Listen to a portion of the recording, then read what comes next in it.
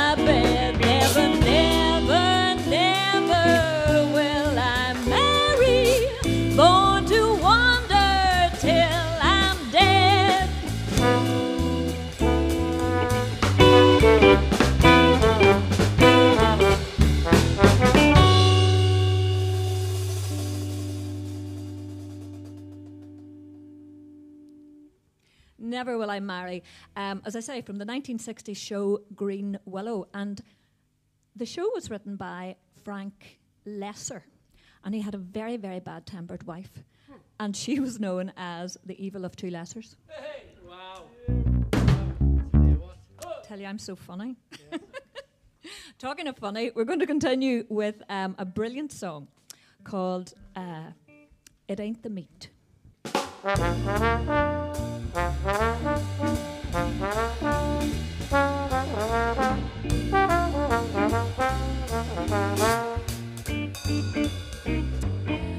It ain't the meat, it's the motion that makes your mama wanna rock. It ain't the meat, it's the motion, it's the movement that gives it the sock. Well, I had a man, he was awful thin, not much to him but bones and skin. But one thing about him I could understand, he wraps all around me like a rubber band. It ain't the meat, it's the motion that makes your mama wanna rock. It ain't the meat, it's the motion, it's the movement that gives it the sock. Well, I had a man, he was big and fat. Most girls don't like to see them like that, but I like to see them big and tall. The bigger they come, the harder fall, it ain't the meat, it's the motion that makes your mama wanna rock. It ain't the meat, it's the motion, it's the movement that gives it the sock.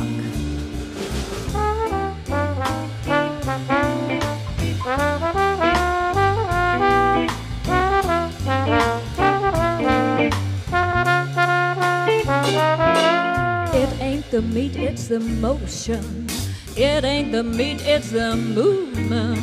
It ain't the meat, it's the action. It's the movement that gives it the suck. Well, I had a boy living down the street, kinda young but awful sweet. And when he starts rocking me, he makes this mama wanna blow her top. It ain't the meat, it's the motion that makes your mama wanna rock. It ain't the meat, it's the motion, it's the movement that gives it the sound.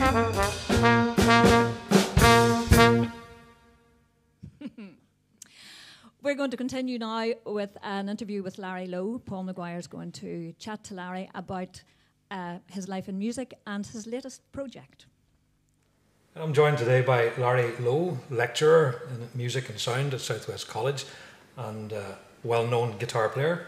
So, Larry, you're back at the Strule Arts Centre. Your most recent appearance was for one of the Saturday night gigs, which went down tremendously well setting a very high bar. and uh, of course, you filled the theatre itself on a number of occasions with your mothers from other brothers, or brothers from other mothers, perhaps. We've been called a lot. Yes, you've been called a lot of things. But that includes yourself and your old friend Piero. Yeah. And uh, of course, you're also a runner.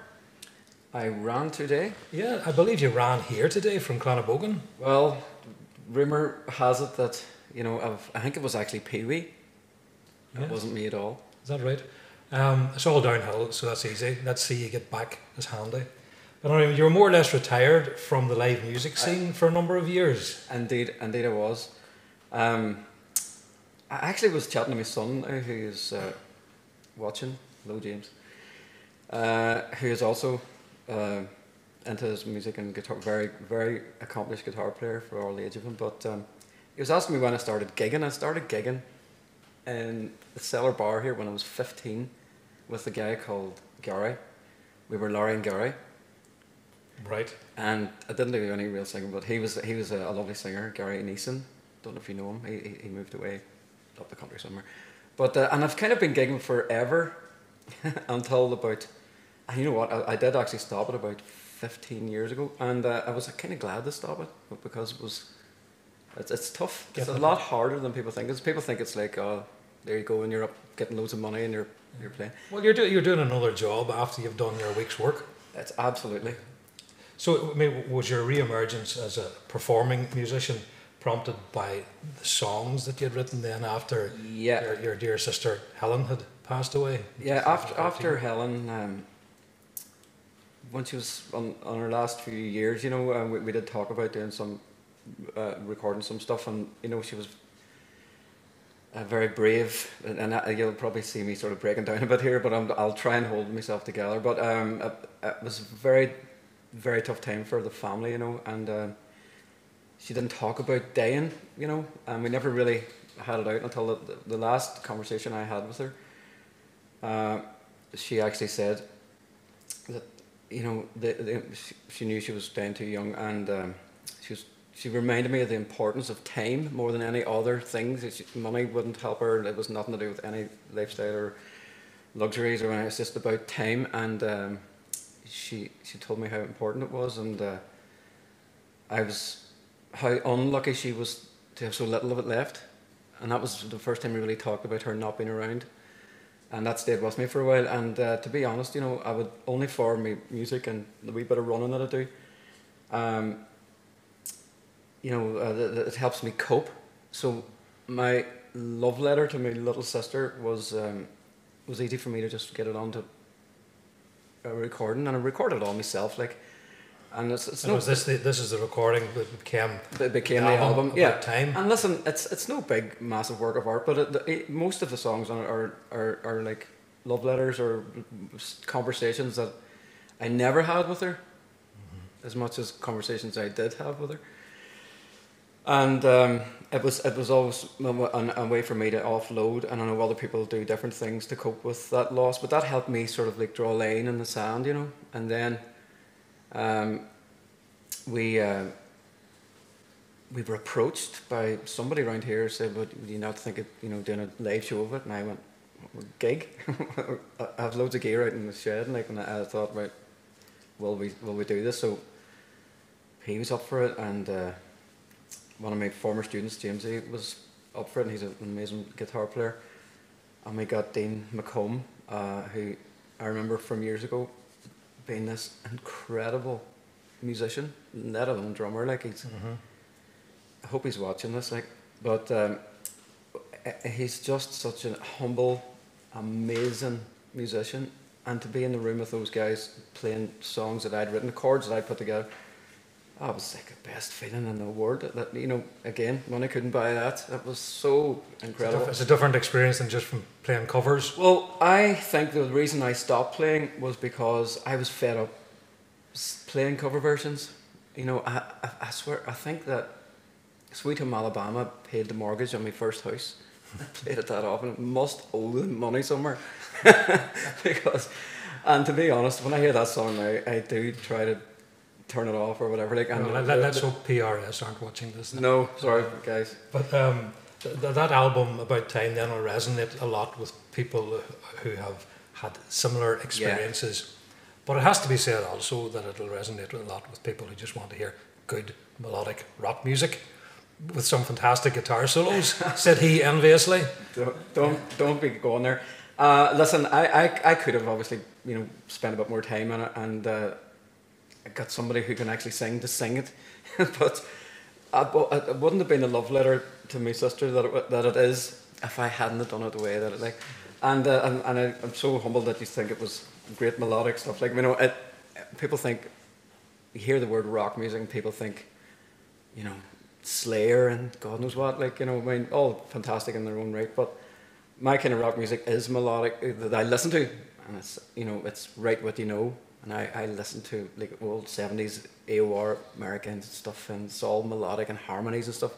And I they look for that in my music still. I was out running this morning and I was listening to uh, a band called Kansas and Boston and stuff, and it's all harmony guitars and harmony singing. It's beautiful singing. Like, and people think, oh, that's that old heavy rock, and you go, is that really? It's, it's an, art, an art form in itself. Oh, aye, yeah. So then your most recent recording is, is the latest song now, I Need You. Yes. So just tell us how that came about.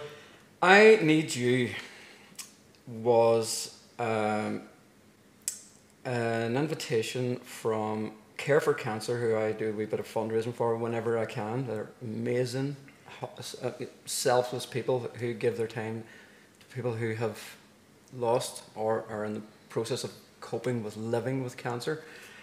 Uh, and it brings me back to um, when my mother uh, was ill with cancer. My mother has survived cancer on two occasions, and she's a very brave, strong, uh, spiritual lady, you know, my mum, and uh, she's keeping very well at the minute.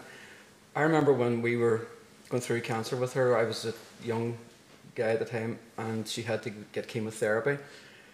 And I don't know if you know this about chemotherapy, but when you're getting it, you have to go every day and get it, which is okay if you live near the hospital, but we were never well off growing up. We, we had enough.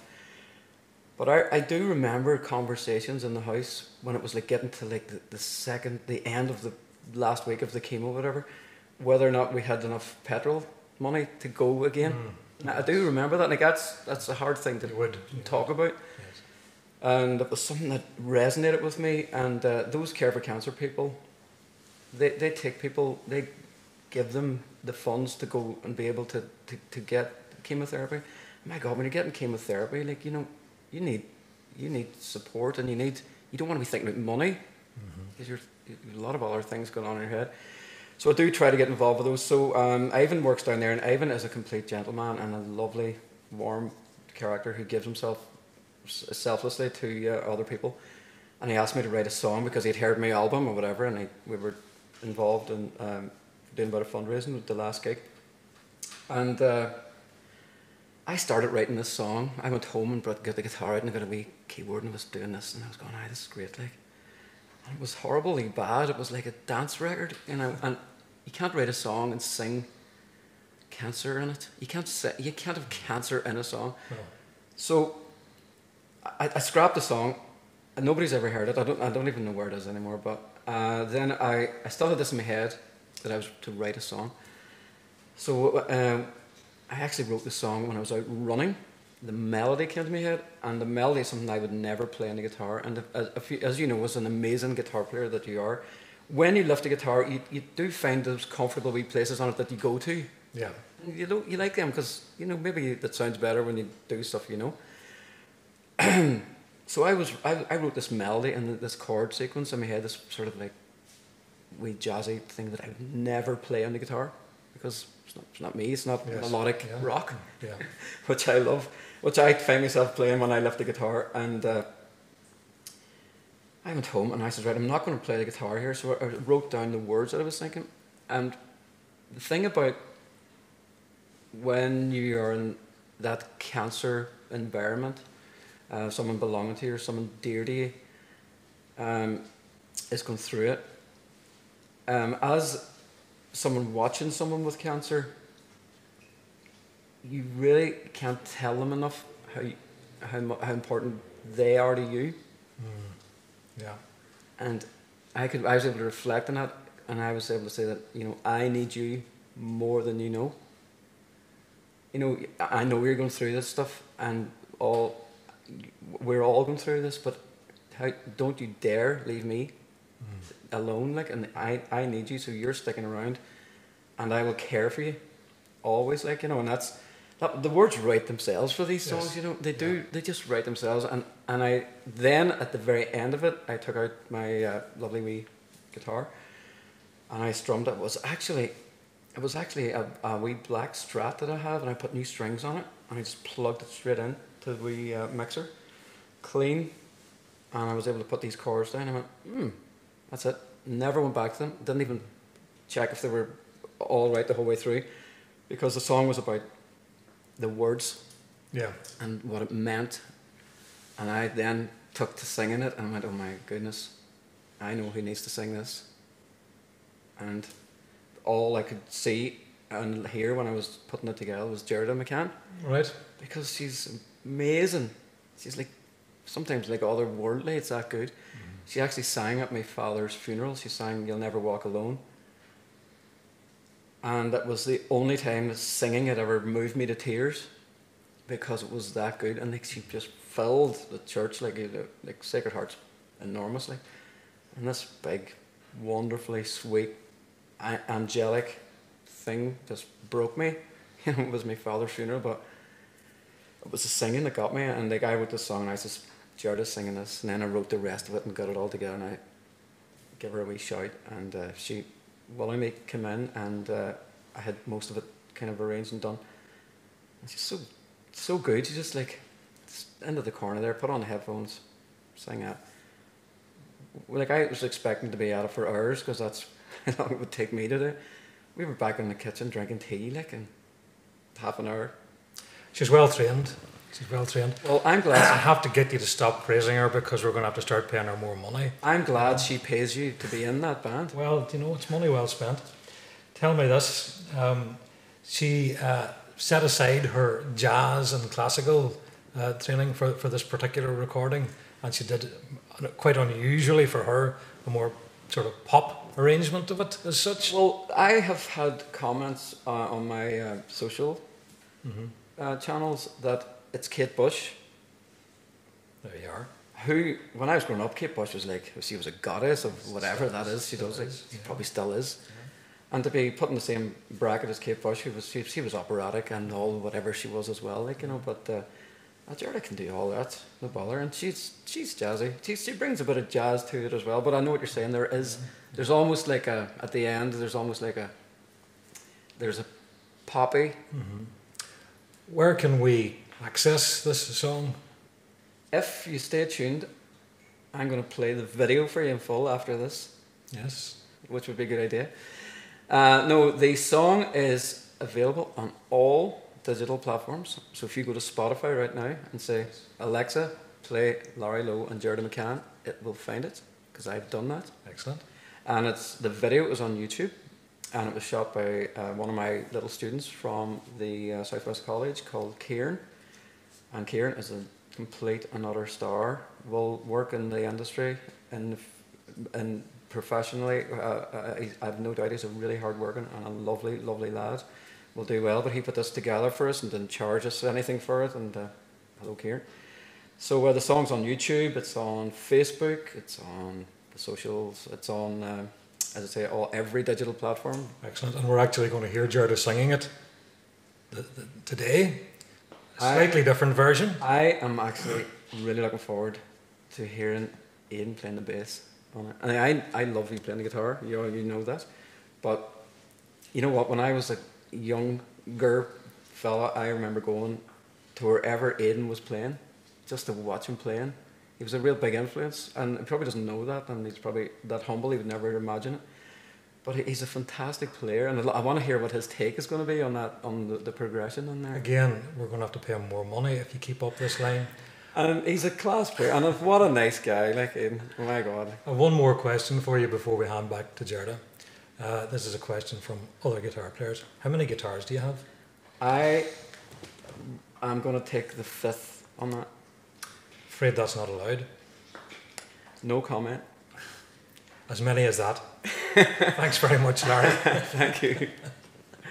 We'll hand back to Gerda now. Thank you, Paul. Thank you, Larry. Um, it's lovely to be able to sing your song again, Larry, and uh, I hope you all enjoyed. It's available, as Larry said, on all uh, social media platforms, and all of the proceeds are going to Care for Cancer Omagh. So this is I Need You. If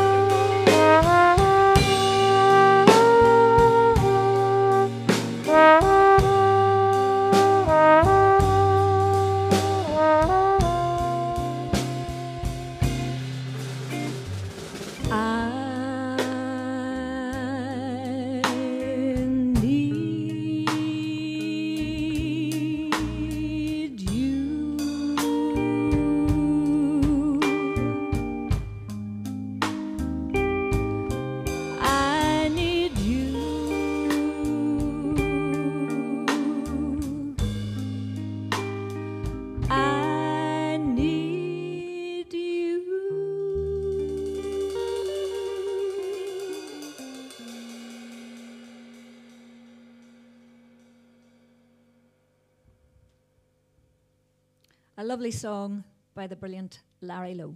Thank you, Larry. Now, we are going to have the legend that is also known as Aidan McGale.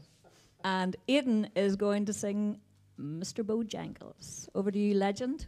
Okay, this song, Mr. Bojangles, is very special for the guy who's responsible, or should I say guilty, for teaching me to play guitar initially. Mr. Bobby Moore is very special for Bobby. It's one of his favourite songs.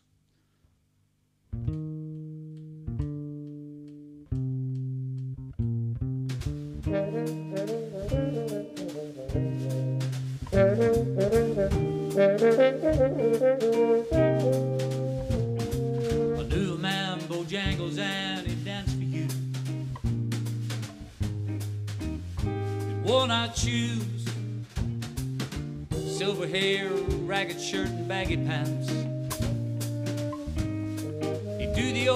Soft shoe. He jumped so high, jumped so high. Then he lightly touched down.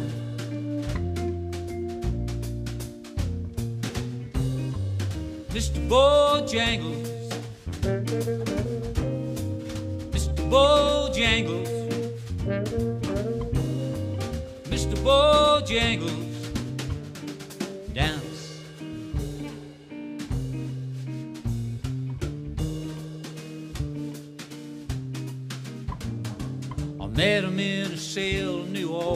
Orleans, I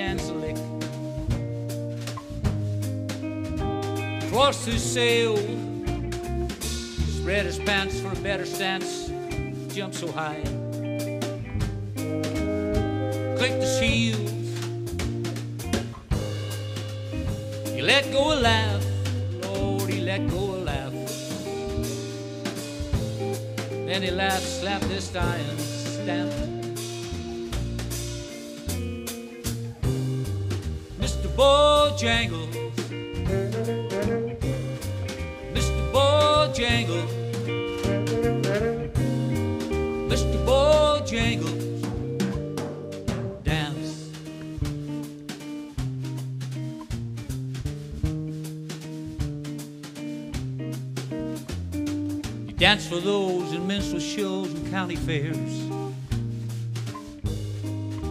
Throughout the South, spoke through tears hot for 50 years dogging him. Traveled about, then his dog he died. Oh, he up and died. And after 20 years, he still grieves. I dance every chance in honky tonks. drinks and tips. Most of the time I spend behind these county bars. Cause you see, well, I drinks a bit. Shook his head, and as he shook his head, heard someone ask, please.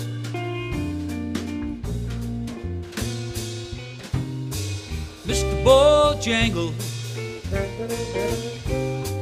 Mr. Bojangles,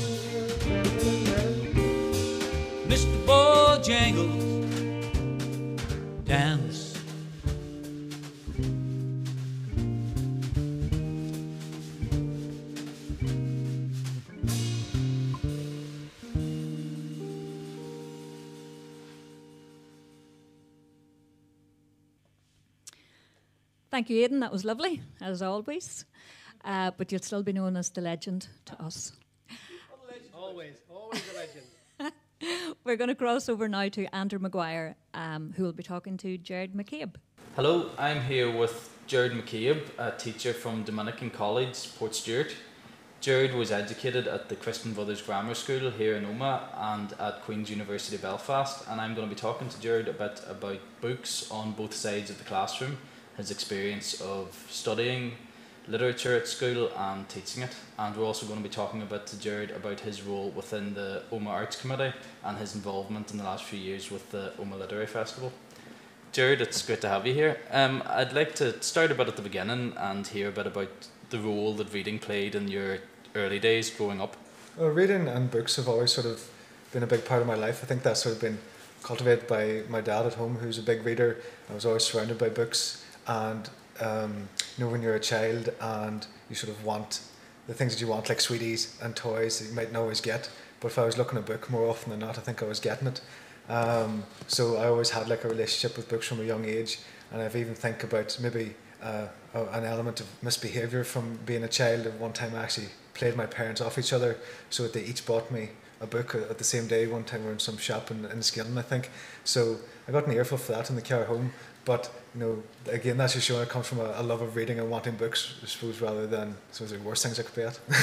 um, I'm interested today to hear a bit about your sort of experience with younger people and reading, and a bit about the sort of how important reading is for them through and, and school as an introduction to reading. So I wonder, in your early years at school, did um, what you were studying, what you were being encouraged to read, did that change what you were reading, or were you still very much sort of working off your, your own devices at that stage? Uh, not so much changing because I think I always had a relationship with books at home, and I, I think I, I, don't, I don't I don't even remember a time in my life where I didn't have a book at home that there was a book I was reading at that moment. Um, I think of like think back to Key Stage Three English, and I can't even remember many of the things that we read. Um, and I think there's that idea of it maybe be maybe it was things that weren't really that interesting, or if you see books maybe at school as more of a chore rather than you know, books in your own personal life which you're reading for your own um, reading and enjoyment. I'd say if you're thinking of school as having any impact on my reading, it would be maybe more the extracurricular side of things and getting into more football and the likes, and that led me in my sort of mid teens to get into stepping away from fiction um, and maybe more into biographies and autobiographies, particularly of, of sports stars. Um, but it certainly uh, didn't change the fact that I always had a book that I was reading in my own life. Um, one of the first books you're going to talk about um, about today is Animal Farm, something you studied at school yourself, and I'm sure a lot of people watching will be familiar of the book and maybe studied it themselves. Um, just give us a wee introduction to it and tell us a bit about your initial experience of reading it. Yeah, well, Animal Farm, George Orwell's sort of um, uh, allegory on the Russian Revolution. So on, on one hand, it, it reads like a, a lovely fairy story about um, talking animals taking over their their the farm that they they live on from their sort of abusive owner. But uh, on a deeper reading, it has the allegorical message of, of the Russian Revolution and communism and the likes of that.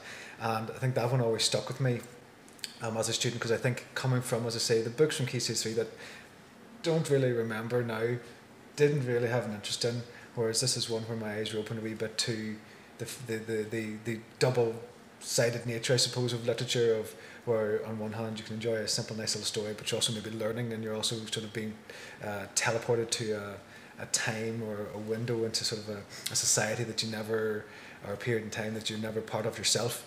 Um, and that I think stuck with stuck with me is like so first year of GCSE at what 14 15 where I was like oh here's something that's like it's so deceptively simple but the simplicity is, is, is in its brilliance and it has sort of lasting lasting impact you on you once you've closed the, the final cover um, I'm interested in that sort of period of um, of any student's life when you can really get interested in literature in the way you've described and I think that's the way all teachers and English teachers would like to imagine it working. But I suppose the, the, the negative side is that is it it can also be a time when people are a bit put off reading when they sort of maybe feel that it's being forced upon them and they may be having to read books that they're not interested in.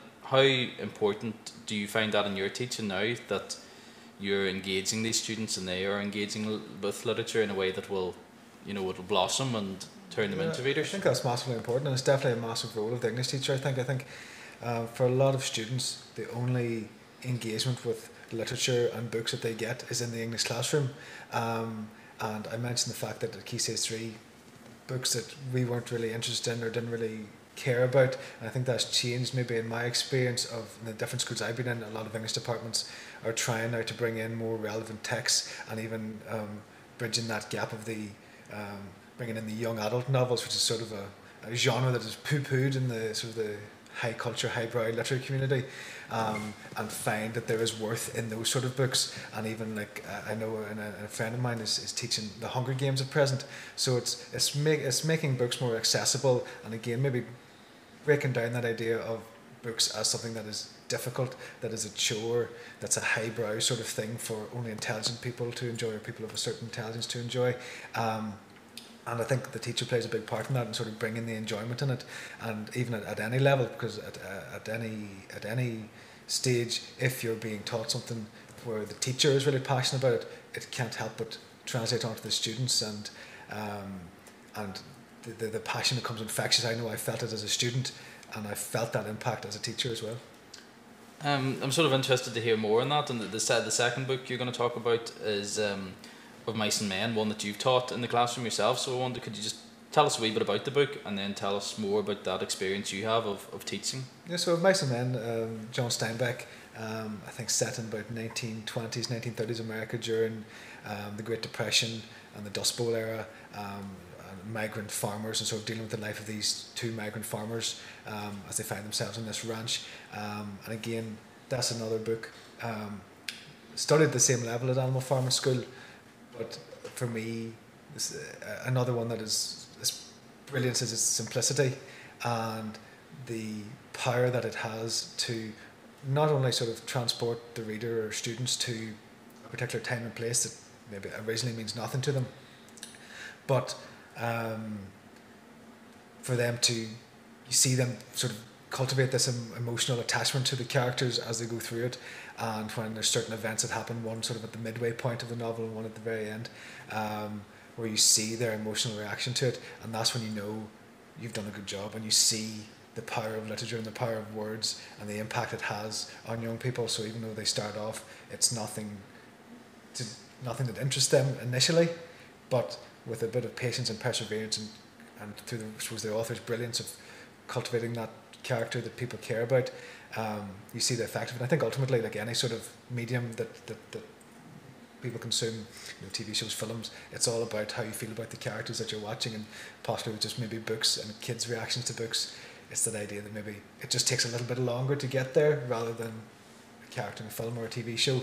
But ultimately, I think it's that feeling towards these imaginary figures that creates the enjoyment and creates the um, the desire to read on and just to just to either experience and be amongst what they're experiencing in the, in the in the plot, but even just to get that emotional reaction within that brings enjoyment.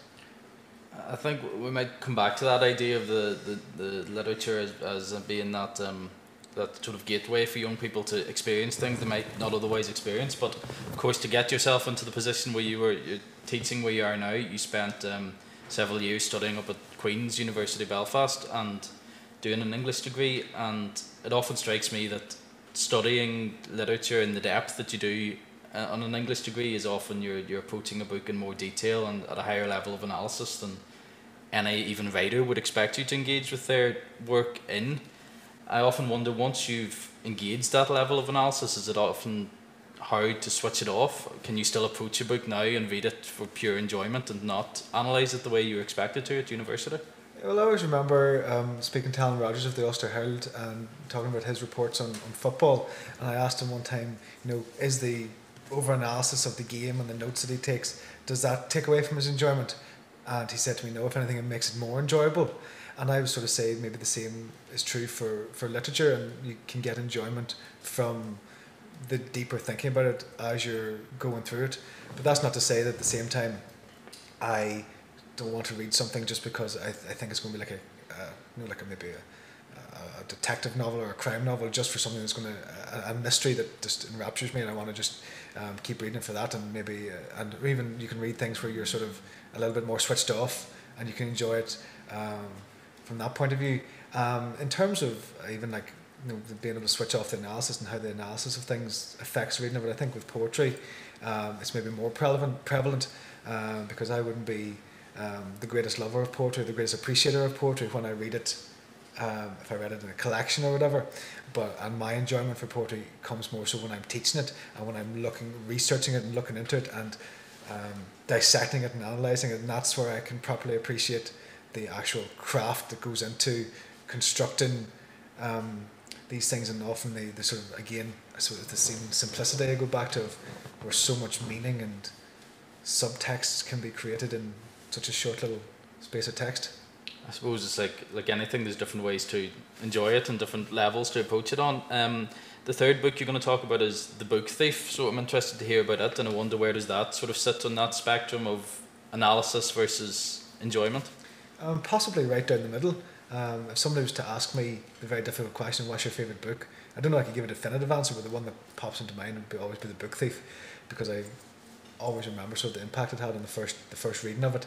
Uh, the Book Thief is uh, set in more contemporary. I think it was written late two thousands, um, but set during Nazi Germany at the beginning of the war, and sort of a coming of age story of this um, little girl as she is, is finds herself orphaned and moves in with the foster family um, near near Munich, and in terms of that balance between analysis and, and just enjoyment, there's a lot to be said for you know the beauty of the writing. It's narrated by Death as well, by the way, um, which always gives sort of a, that sort of subtext to to you know the environment of that time uh, that, that the girl herself maybe isn't always aware of and maybe and becomes more aware of through the novel.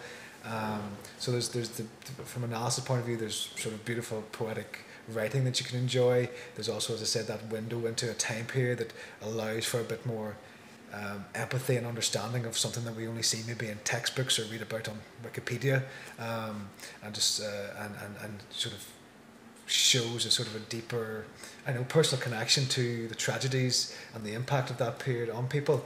Um, but then as well, it's just a good story. And I think a very well written story allows that. You can just sit and enjoy it and enjoy just even when the characters are doing seemingly mundane things, just like being with them and without any sort of um, you know mystery or something gripping that wants that makes you want to read on. You just want to read on because you're enjoying it.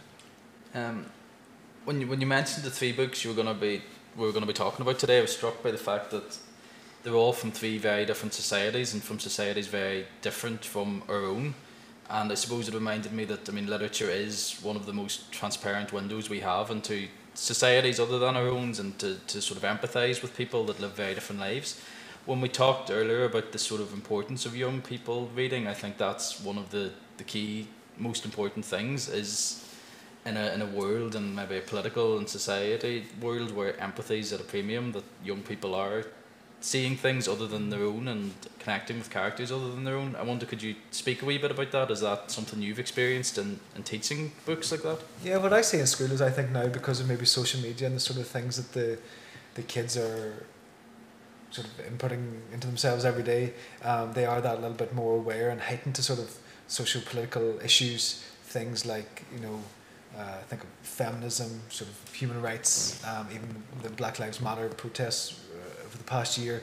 So they're very hyper aware of these things, and perhaps that can add that can add that level of analysis and empathy to the reading of a text, for example, um, and um, maybe even harbour their understanding a wee bit more of the impact of these big societal issues in people throughout history. Um, you know, like as you say, the three books we looked at, we're talking about Russia, you know, the Russian Revolution, the stock market crash, and Nazi Germany. Things that's you know approaching hundred years into our past, and there's a definitely books offer, as you say, that window into that society and that understanding that goes beyond facts and figures and statistics. That is the only way we, you know, um, engage with these events in real life, um, and you get that sort of alternative perspective that can only further cultivate, I suppose, that empathy and that understanding, and, and even just influence how we see the modern world. Absolutely. Um, I think um, obviously another way that you experience um, literature and have done in the last few years is your role within the Omagh Arts Committee and the organising of the Omagh Literary Festival. Um, I wonder, could you tell us a wee bit about that? And has that role changed anyway, the way you look at literature and the way you look at Irish contemporary literature, maybe? Yeah, well, I, I've sort of been involved with the Arts Committee now for coming five years, and originally it was just joining because oh, books and things that I, I like to talk about, and just maybe maybe fill the gap that, that was left by university. Um, but I find attending the festivals has really been an eye-opening experience, and even seeing, thinking about the, the writer from the other side of things, and talking to the writers and hearing them speak. Um, you know how the, the thought and sort of craft that goes into what they, they, they want to write. Um, and what I've been struck as well, um, particularly as has sort of been my engagement with Irish literature. Um, and I think I think back to last year when we had the the hundred years collection uh, and seeing it up here was the um, I was struck by how many writers that I had read or certain novels, books that I had read were actually by Irish writers, and I wasn't even aware of it. And it's definitely opened my eyes to sort of the breadth of talent um, that we have in this country for for writing. Because um, obviously at school you see you know the classics of you know Oscar Wilde and, and Keats and whatever. Um, but even so that this is still that legacy is still uh, ongoing in the modern times. Um, and so it's been very eye opening and it led to sort of a better engagement with, with fiction from this country. And I suppose it's refreshing then, or imagine it's refreshing for you whenever you're in the, in the classroom environment and you're seeing the benefit of young people engaging with literature. It's nice to see that there's still so much great writing being produced in Ireland and it's still very much something that's there on our landscape.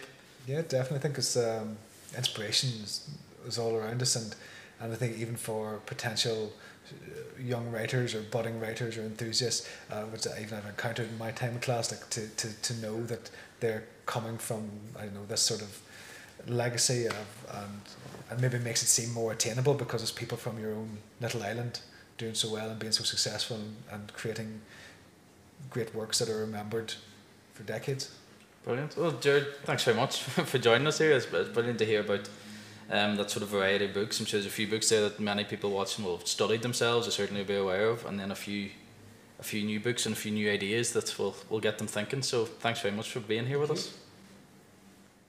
Thank you, Andrew. And Gerard, we're going to keep the music going now with Thou Swell.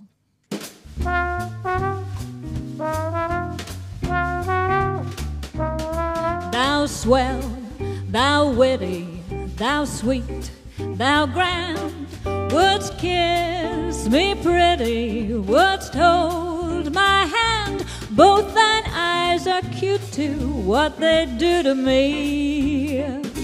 Hear me holler, I choose a sweet Lollapalooza in thee. I'd feel so rich in a hut for two, two rooms and kitchen. I'm sure would do. Give me just a plot of, not a lot of land. And thou swell, thou witty, thou grand.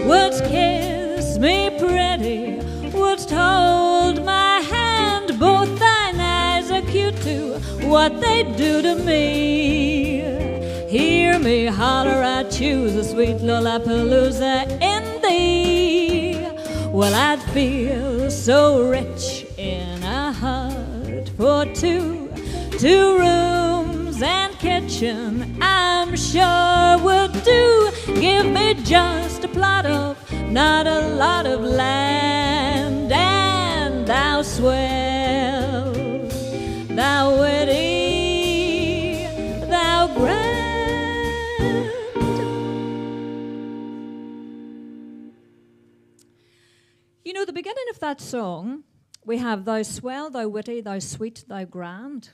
Could possibly refer to these four boys. Wow. Will not say which way. Will you care to tell us which, which is which? No, I care not to. um, so we're going to continue now with a lovely uh, instrumental called "Here, There, Everywhere," featuring Bob on a different trombone, or same trombone, Same trombone. same trombone. Okay. Premature on that one. Thank you.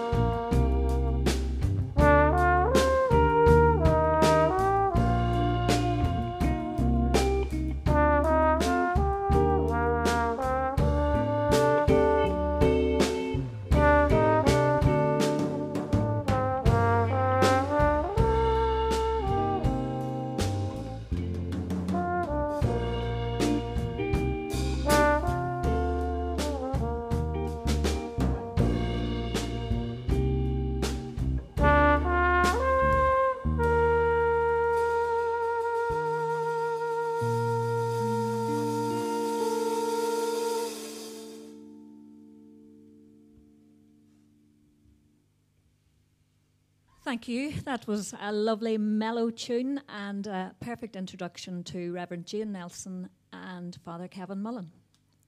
Well, you're all very welcome to this, our third chat. Um, did you did you remember it was the third chat? I sure did. Because I uh, well I didn't. I thought it was maybe just you know our, our fifth. But It's uh, only three, Jada. this is three, and I and I would say that time time flies when you're having fun.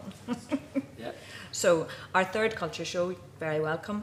And our question today is Can the church be a unifying force for good, obviously? So, I had thought about it and um, I thought, well, surely we need to view the church as one, not my church, not your church, not their church, but one church, and the unifying presence in that would have to be God. So, Jane, what would your take on that be? Do you think the church, church can be a unifying force?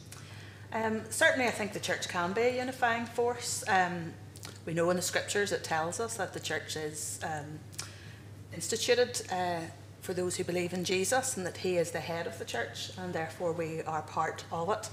And um, as the years have gone on, there have been different uh, branches and uh, expressions of church, but what unifies us together as Christian church is our faith in Jesus Christ as our Lord and Saviour. So that is what unifies us uh, within the church, and then we have a responsibility to uh, share that uh, with with the world, I suppose, to bring people together. Jesus came to reconcile um, and to bring bring people together through through Christ. So we have very much got a unifying message to share with the world. Yeah. What about you, Father Kevin? Yeah, well, I suppose we're all aware that we come out of a, a history that's been full of division and suspicion and uh, accusation and uh, defence. And um, as part of us, you know, uh, certainly we have the, the call of the Lord to be one as He and the Father are one. Uh, we also carry that uh, divisiveness within us, and we're, we're battling against it, and um, we can easily easily trip over ourselves and turn to excessive defense or unintended aggression and uh, uh, and um, see other people's well see this is where this is a very dangerous conversation you know But, and that's, That's a very it. dangerous But- conversation, but, you it- know. But it's not Yeah, dangerous. It's, yeah. It is difficult. yeah But yeah it is that's the part of the Yeah. world that we live in. yeah yeah Um, Yeah, because I I think now from my experience of wider Christianity, that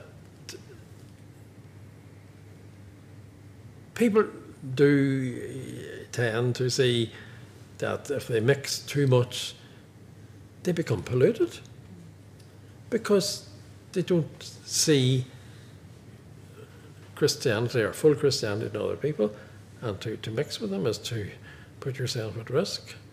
And it's safer to stay in your own uh, little uh, branch of the church, be happy there. And well, yeah, indeed, yeah, you know. But but uh, you know, if we could just maybe let lead people to feel that that you don't lose anything by loving other people. You become enriched without losing your own identity. And I think that's that's the, the cent- uh, love is the, the center, the unifying force, and uh, it's very very hard, you know. it is. It is. It's very very and hard. the divide in Northern Ireland has always been referred, well, is mostly referred to as Catholics against Protestants. That, that's always been the headline and what's portrayed out to the rest of the world. But if we are, if we in the church or in Christianity, if we're working towards unifying and respecting and understanding people's differences, surely moving that way it's not it's not catholic and protestant it's it's deeper than that Do, do, do you not think, in the context of Northern Ireland, that the, the, the Christian institutions get an unfair, an unfair title? As you said, it's perceived as Protestant and Catholic, but in actual fact, the Catholic Church and the Protestant Church doesn't have a view on politics in Northern Ireland, big, big politics. Um, it, w- w- I think what it really is is ethnicity. There's, there's obviously two ethnic groups living in Northern Ireland. There's an Irish ethnic group and a British ethnic group who are, one is predominantly a Protestant faith, one is predominantly a Catholic faith, but it's the ethnicity and the political, the political ambitions of those ethnicities that causes the trouble. I mean, as, as I said to Father Kevin earlier on, the Vatican doesn't have an opinion on the Irish border, and the Presbyterian Church or the, or, or the Protestant Church doesn't have an opinion on the Irish border.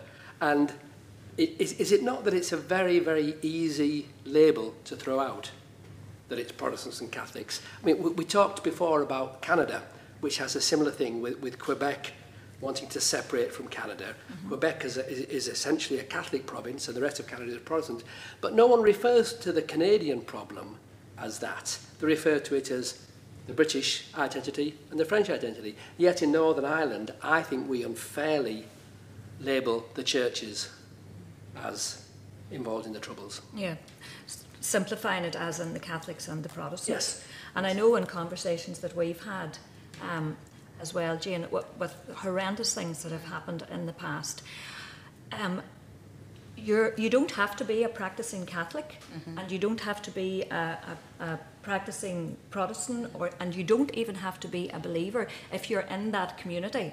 That's the label that you have. Yes. If you're if you're belong to that church, you're the Catholic, and if uh, the the minority who want to cause the trouble, if they want to take your life out, they're seeing you labelled. You're labelled as that Catholic or as that Protestant, although you may not have any faith at all. Yeah, I mean, and I think a whole lot of it's um, to do with our understanding of one another. I think Kevin made reference to that earlier. It's trying to find mutual understanding, and I think when you uh, are brought up in Northern Ireland, as uh, well, at least three of us were, uh, one is coming in and can see it from a different perspective. Um, but you know, you you you um, grow up with the experience of your particular culture, and our culture uh, is yes our religious identity, but also our ethnicity and our political identities, and so they will be different. And sadly, humanity loves to separate out them and us. Look at in in the Bible with the Jews and the Samaritans. Yet Jesus came in to the world and he reached out to the Samaritans. He used the Samaritans as a Yes. positive role model, Yes. breaking down those barriers. And I think that's where the church has a role to play and has had a role to play. Um, I grew up in North Belfast. Um, and for those of you who know anything about um, Belfast, it's often referred to as a patchwork of orange and green. You can go up one road and it would be predominantly Protestant. The other side of the road would be predominantly Catholic, and then it mixes and matches the whole way uh, round the, the whole city. Uh, and in North Belfast, I grew up um, in a part of the city that would have been seen as predominantly Protestant, but there were some Catholics who lived in my street that I got along with and played with um, as a child. But I went to a school, an all-girls school, that was a secondary school, that was all Protestants in those days. Um, and yet the school system uh, provided opportunities for some of the girls uh, to get away from their cultural identity to a, a free space um, up in Corrymeela near Ba- uh, Ballycastle, which is a Christian uh, community that got set up during the Troubles to try to help break down those barriers of misunderstanding. Um, and so I was involved in taking um, a younger age group away. I was prefect at the time, and uh, we went that up to doesn't surprise me.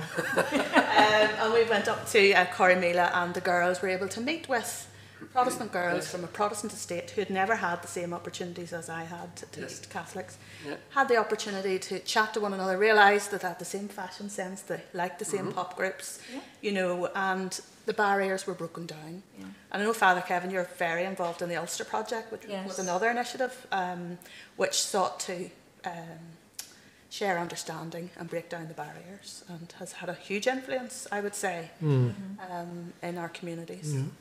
And, and church leaders uh, have been headline setters, you know, meeting together and issuing statements together and visiting places together. Uh, they, they kind of make it safe for others to do likewise. And Irish School of Ecumenics, it helps our own churches forum here in, in Omagh. Huge work going on in the background, and even groups we don't even know about. Yeah, but it's getting that to filter down to Johnny and Mary in the street, and Yeah. Mildred and Andrew, and, Yes. Yes. and uh, quick people and slow people. I think. yeah, yeah, yeah, yeah. So- I know when I went to uh, study in, in England, nobody ever queried or wondered was I a Catholic or a Protestant. Just wait where you're in tune. Was I in tune? Exactly. And I wasn't always in tune, actually. But it was surprising Yeah. because there's the real element here. Um, so, what's your surname? Yeah, um, yeah. And where? What? What school did you go to? And Yeah. what's your father's name? Yeah. It's it's Yeah. and that still happens. Although I do smile at myself sometimes if I hear someone saying that, you know, or, or Pierce or Holly, my, my children come home and say, oh, you know, and they, they were asking who my dad was and all that. And I'm thinking, hopefully it's not because of that Yes. anymore. You know, I had the opposite trying to, to sorry, find yeah. out. I had the opposite experience. You know, coming here, I came here in the late 70s and, and I was involved in some sort of education conference at some point and someone said to me, you have a very confusing accent. I said, really? How so? They said, well, most of the time you have a very strong Yorkshire accent, except when you say Protestant and Catholic, and you say those with an Irish accent.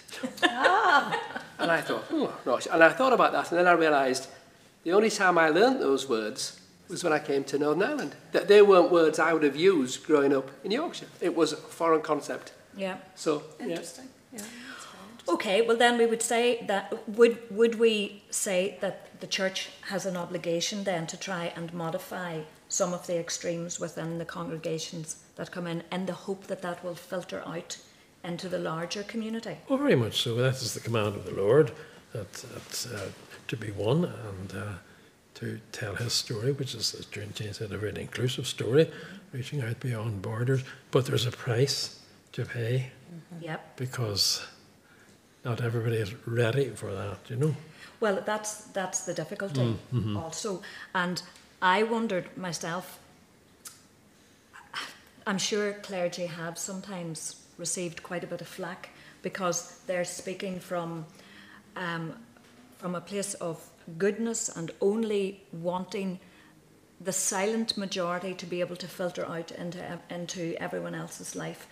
But there will be well, extremist is maybe too strong a word, but, but there will be extremely single minded people who will be in, in all the congregations as well who will not agree. So I would imagine that clergy do get, get quite a bit of flack, possibly more in the 70s and 80s, um, maybe than they do now. But that's a danger that you have to sort of Yeah. work around also. And possibly people like Jane more than people like me, because I have the safety of being part of a big organisation, you know, that will support me generally. But you're very much, I think, the mercy of people in the pew. You know? Yeah, you know. Well, I suppose that's the nature of Presbyterianism. Yeah, it is, yeah, yeah, is- you know, it's, yeah, uh, yeah. it's a fellowship of all believers, and Hmm. you know our role is really to try to help people understand what it means to live as Jesus lived, Mm, mm-hmm. and you know he was willing to go to the cross to bring reconciliation, so he was willing to suffer uh, to bring to bring hope and peace to people. So the Christian life should be one uh, where there is suffering, where we have to pick up our cross. And I know certainly growing up in the Troubles, there were, uh, there were my own home minister, uh, was Dr. John Dunlop, who had a significant role in trying to bring uh, communities together. And we were uh, involved as a congregation in meeting with our Catholic neighbours in the, in the sort of late 80s and 90s that would not have happened in the 70s and early Yes. 80s because of the nature of the troubles and the, the division that was there because of the violence and the, the histories. Um, and, you know, that I'm sure he, um, not everybody in the congregation would have been supportive of Yes. that. Uh, and he would have had to deal with a certain element of flack, and maybe people in the wider Protestant community wouldn't have been happy with that. So there are people who have fulfilled, really, I suppose, a prophetic role uh, to enable us uh, to live in um, a society where there is um, much more peace and understanding and reconciliation. But we have a long way still to go. Well, John, John Dunlop is very much at home in, in our hearts because he speaks from the gospel, he speaks with love, and uh, I, I think we all love him, are very thankful for him, you know, and many others like him. Like your good self. Oh. Yeah, indeed. Yeah. Yes. Yeah. I know I've heard people saying from my own uh, church community how much they appreciated you, your presence in some of our church services and events, and even the uh, cultural events that would have taken place within the Protestant community. And there they saw Father Kevin, and they thought, you know, that was decent of him to turn up and to show his respect and his tolerance. But then you make nice sandwiches afterwards. Don't forget the tray bakes. It, it always comes back to the stomach, doesn't Yeah. it? Protestant trade bakers. yes. Well, um, I can't, re- Father Kevin, I think it was you uh, or possibly Jane who mentioned about the history and the history of the Troubles and the history of, of this small island is so difficult to get over. And we have to get over it. We have to get over it. But that's not to say that we, we forget. Um, Bob, you had, whenever we were discussing the, the titles for these cultures, you had said, listen, we live in a democratic, democratic society. So we have the right to vote, therefore democracy rules. And democracy does rule. And I feel there should not be a but that comes after that mm-hmm. sentence because everything should just move along. But there is a but here, I think, particularly in Northern Ireland, because we feel, we all feel so strongly about our history. Mm-hmm. And it's very difficult to not view winners and losers. And yes, it is a democratic society, and yes, democracy does have to rule. But I think that's where a lot of our troubles come, a, a lot of our issues come from. We don't want to be seen, one side doesn't want to be seen as the winner, or doesn't want to be seen as the loser. Yes. Therefore, it's just Yes. bang, bang, bang together. The I, I way. think that's a very perceptive line of question, Gerard, uh, and I have to be extremely sensitive coming from where I come from because um, none of this challenges my identity. My, my, my personal identity is I'm a Yorkshireman living in Ireland. Okay? Whereas uh, uh the, the, the two main communities, if your identity is strongly tied up mm-hmm. with Irishness and Britishness, that's when you can potentially perceive yourself to have won or lost the constitutional battle. Yeah. And, and, that's, and the fact that the two communities are, are, whatever it is, 49 and 51 or almost 50%, that's that's where the, the, the unsettledness of the constitutional issue is because the society, because the communities are, are basically equal in numbers. Um, but, uh, and democracy is a thing, you and I have talked a lot about the um, uh, Brexit, Yeah. um, and that I, I, I voted against Brexit, I wanted to remain in the EU. But as a Democrat, I now have to say Brexit's fine because that's the democratic will of the people that voted. Well, And I don't like it, but What you actually said was, oh dear. Oh dear. Oh dear. what you actually said uh, was, I voted against it. Yes. as did I actually. Um, but you said because it's a democratic society, I now support it. Whereas Yep. I think I voted against it. I don't support it. I know I have to accept it. There's nothing I can do about it. But I can't say that I support it. I don't necessarily support Brexit. I support the democratic process, yeah. which, which therefore I have to support what, what everyone says. Now, the, the, the, fact that Northern Ireland is an entity voted against it, of course, that's an even more complex. yes. And we'll just park that for today, probably. But um, because if, if you don't have de democracy, what do you have? Yeah. Well, you- maybe that's part of, of our mentality here as well. Even that simple example, you know, I think, okay, I have to accept it. I don't like it, but I have to accept it. And maybe there's a hint of, well, this is what we're going through. This is what we're going through. Um, how can we regain, or how can we gain or regain some ground towards unifying the cultures here? Um, if nobody is leaving the past behind them, and it's very difficult to leave the past behind them because that's be- behind any of us, because it's all so emotionally charged. But I think of my children, and I don't see any or very much um, pull in them in regard to the Academy Secondary School in Omagh and the Loreto Grammar. You know, there's lovely friends. I'm thinking, how can my children continue through life and keep those friends, stay in touch with those friends, socialise with those friends, and not be almost dictated to to separate? Is the is the church, when we say, can the church be a unifying force? Actually, what we maybe should be saying is, can we be a unifying force? Because you don't have to be a churchgoer to want the divide to stop. And I think it's all about, um, again, I suppose I'm saying the same thing, but understanding, understanding where the other person comes from, and then respecting that their view is different, and they will hold very deeply held views, and and some of that will come from, you know, from their experiences. So you have to. I think the more we share with one another, the more we have an understanding of who the other person is, and a desire to respect the difference and to live with the difference. But it's a lesson, you know, that human beings have had to learn, you know, right through Yeah. history. Yeah. You know, And but I think history is the word because we think back. You know, we study history at school and all the rest, and we think back to the atrocities that happened um, in Germany, and yeah. think that's history. We learn Yes. about it, and we're te- we hope and teach. We learn from those mistakes and we move on.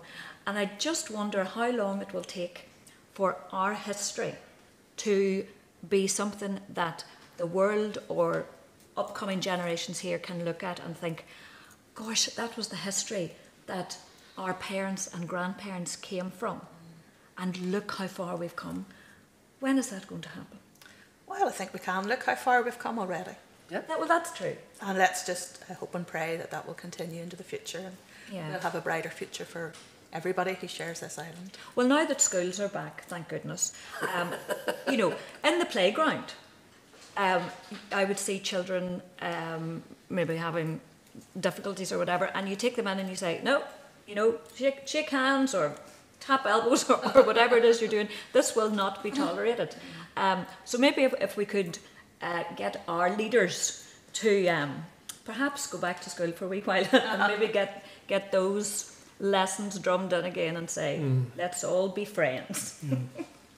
I think too, uh, in, in moving on, we have to be careful to remember those who have suffered so much Yes. and still are carrying the scars, and who feel that life has been very unfair and unjust to them, and just to, to, to, to ha- have them in here and to try to ensure that whatever caused their suffering doesn't happen again. You know, yeah, And respect. uh, yeah. Every conversation that we've had, the last three conversations we've had, I think has been encircled totally by the thought that respect. Respect each other. And respect each other's pain, respect each other's beliefs, but don't let that, don't get there, the differences there in the way of the friendship. Yeah. Thank you so much. Lovely to see you. It's lovely catching up once a month. Indeed, yeah. And we will see you next month um, also, and that's actually going to be um, your last for a while. Oh, the viewers are probably right, and Oh, indeed. there'll be Uh, another, another series, Line of Duty. Are you Hitch? that's the big reveal. Father Gavin's Hitch. No. Thank you Girls, very before, much. before we go, can I just say nice haircuts, girls? Oh, thank you very Thank much. you. Thank you very much. Thank you, God. Feel free to, to, to reciprocate. with Yes, that. uh, Lovely. Yes. haircut. yes, lovely journey. We are going to continue now with music from um, the Bob Qu- Quintet, and we'll be performing. I think it's going to rain today. Imagine that. by It Dusty is Spring. raining today, Bob.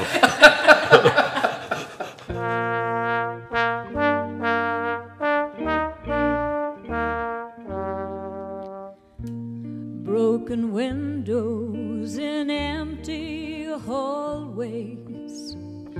A pale dead moon in a sky streaked with grey. Human kindness overflowing. And I think it's gonna rain today.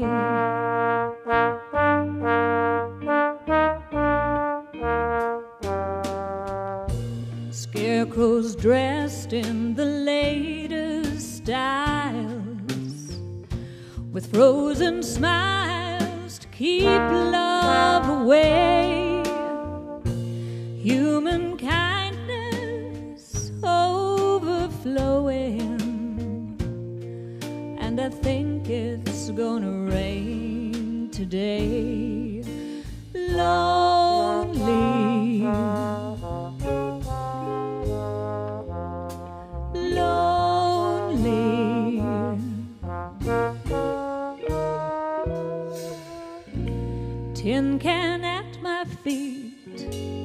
Think I'll kick it down the street. That's the way to treat a friend.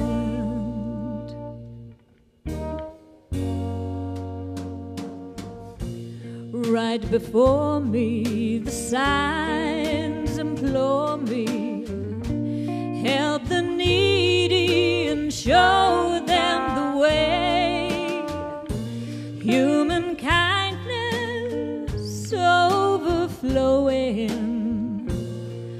And I think it's gonna rain today. Lonely so lonely.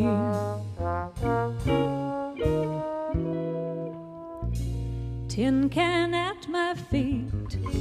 I think I'll kick it down the street. That's the way to treat a friend.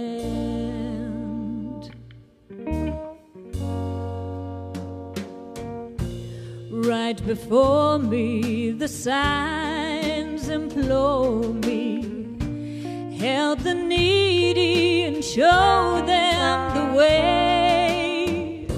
Human kindness overflowing, and I think it's gonna rain today.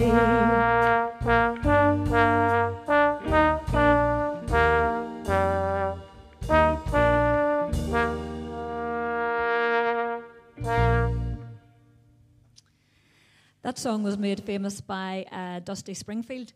Um, not such a well known song, and it was on a thing called an LP. Uh, yeah, I know, I know. Um, it was also written by Randy Newman, and Dusty Springfield said it was one of her favourite songs. So, we've come to our last number this evening. Um, we'd just like to thank everyone who took part Reverend Jane, Father Kevin, Gerard McCabe, for Andrew, Paul, Larry, and the legend that is Mr. Aidan McGale. and that is why our last song is called It's All About the Bass. so, thank you very much for joining us. See you next month. Uh, and this is All About the Bass.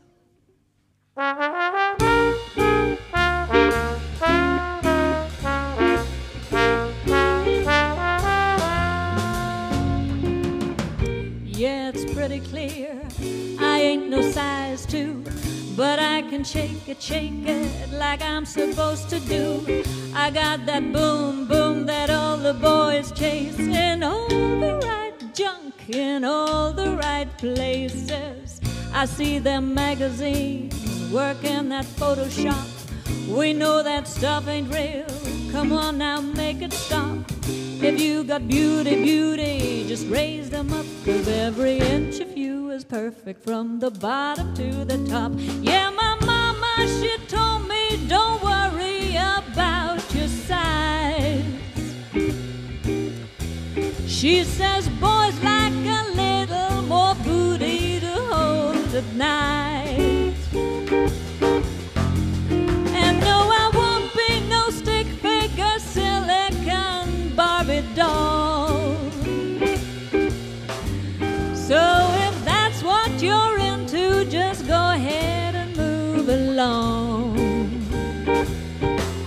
Because you know I'm all about that bass, about that bass, no treble. I'm all about that bass, about that bass, no treble. I'm all about that bass, about that bass, no treble. I'm all about that bass.